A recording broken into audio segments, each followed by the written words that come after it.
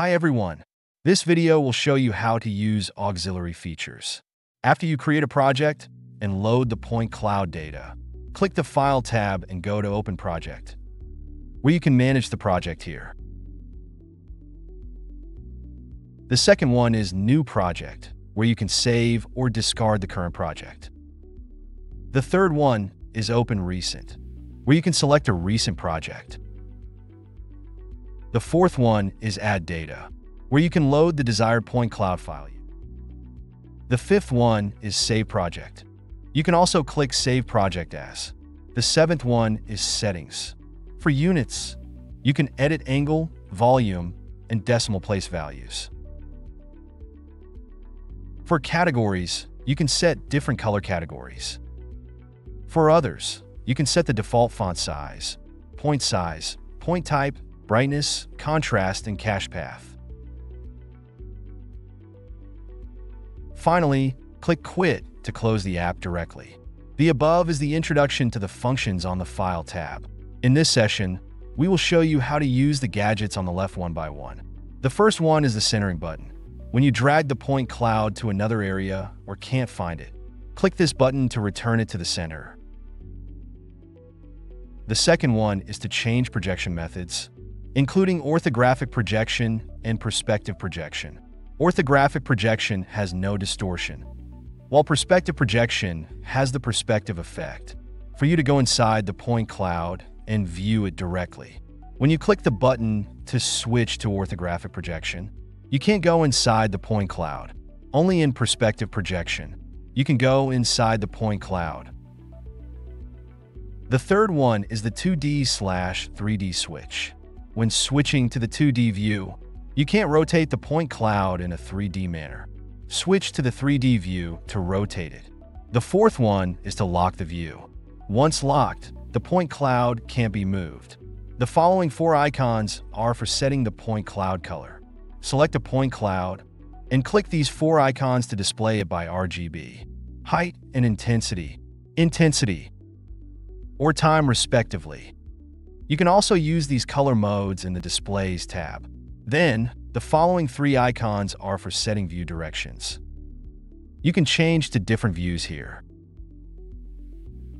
You can also use the measurement feature on the left toolbar. Before measuring, you need to adjust to the front view. You can measure the coordinates of a single point. Or the distance.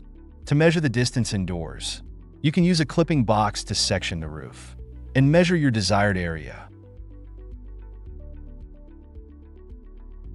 You can rotate it all around as needed.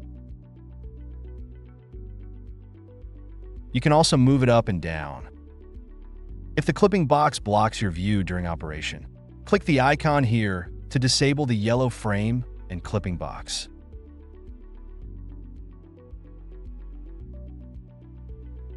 Further, you can measure the house's height by selecting a point on the roof and one on the ground.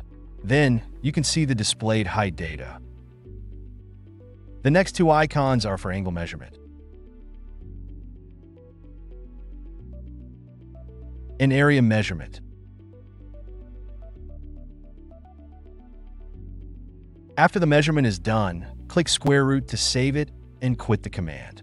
Then, you can see the Save Measurement Data under the Label tab. The above is the introduction to the measurement tools. The last one is the clipping box. You can use it to clip some unused scan points. Polygonal clipping is used frequently. Select a target internal point cloud area and click Segment In. Then, you only get the selected internal point cloud range. You can also select an external point cloud area and click Segment Out. Then, you can also get the selected internal area. You have two ways to save it cropping and segmentation. Cropping keeps only the current point cloud, while segmentation also generates a deleted point cloud. The above is all the introduction to the left toolbar. In this session, we will look at the Displays tab. The first one is for background color. Select the corresponding color for the background.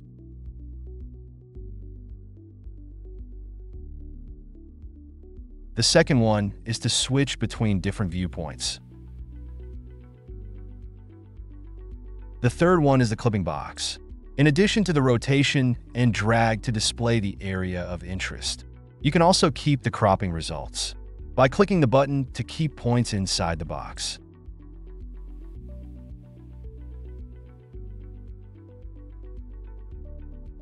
Click OK to generate point cloud data after clipping. Next are the color display settings that we just mentioned before. In addition to the several color display modes just mentioned, you can also display it in a single color.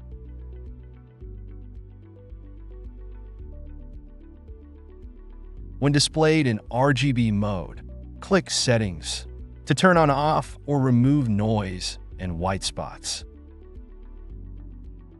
When displayed in elevation mode, click Settings to select from various combinations. The next one is to set the point size. The next one is to display it by boundary reinforcement or in X-ray format. The above are some rendering methods for point clouds. Next, when you hover the mouse over the point cloud, you can see the point cloud position, number of points, and offset in the lower right corner. When the point cloud is in our system coordinates, there is no offset. But if it is in geographic coordinates or absolute coordinates, you need to offset the overall value to make it in our system coordinates. Here displays the number of points. After the operation is done, right-click the rendered point cloud file to edit it. The first one is to rename it. The second is to view the point cloud information, including scan time, point amount, and scalar fields. The third and fourth ones are toggle selected and toggle visual for selecting or hiding the point cloud. The fifth one is to export cloud data. After the point cloud mapping is done, the data saved in the project path is the original point cloud data. That is, the save point cloud is not colorized and has no absolute coordinates. So, if you have colorized and registered absolute coordinates for it, you need to save the result files separately here. The sixth one is to extract the trajectory. The seventh one is to extract control points. The eighth one is to add a configuration file. You can see that there are point cloud files in green and red status. For the green one, you can load and extract the configuration file. For the red one, you can only load the configuration file. The difference lies in file extraction. The red one means the file is not loaded, while the green one means it has been loaded.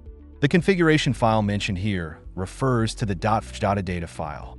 The ninth one is to extract scanning pose data. The last one is to delete the point cloud data. The above are some functions you can use after right-clicking a point cloud. There are some quick ways to facilitate your operations. If you want to quickly query the location of a point, hold down Shift to select a point and see its coordinates. If you want to change language, click Help and select Language in the upper right corner. Click License to view the software activation status and time. Click Help to view the software help document. Click About to view the current version of the software and check for updates. Click the arrow in the upper right corner to hide or show the homepage menu bar. This is our introduction to the auxiliary features. See you next time.